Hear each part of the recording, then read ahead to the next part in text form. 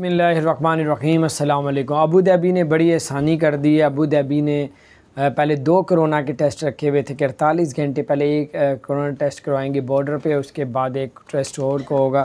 दो टेस्ट की बजाय उन्होंने आसानी पैदा कर दिया भाई आपको एक ही टेस्ट करवाना पड़ेगा।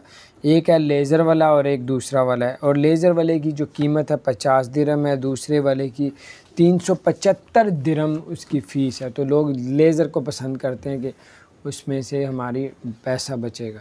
और 48 घंटे से पुराना टेस्ट ना हो और कोई भी टेस्ट कहीं से भी कर, करके लाते हैं तो वो भी माना जाएगा।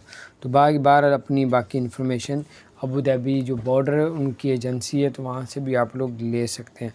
और उनका ये भी कहना है कि अगर आप अबू धाबी में आते हैं छः दिन उधर रुक गए हैं तो छः दिन के बाद सातवां दिन होगा तो आपको दोबारा से ये आपको करवाना पड़ेगा।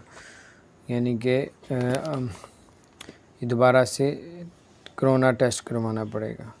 तो अगर छः दिन के बाद बारह दिन रहते हैं तो बारह दिन के बाद छः दिन बाद एक कोरोना का टेस्ट होगा, फिर छः दिन के बाद कोरोना टेस्ट किया जाएगा। तो बहरहाल ये कुछ अपडेट्स थी, मैंने कहा किसी शेयर करूँ अपना ख्याल रखें। अगर आपने हमारे चैनल को सब्सक्राइब नहीं किया, ज़रूर सब्सक्राइब कर दें। बेल आइकन प्रेस कर दें, ताकि नई सी अपडेट्स आप तक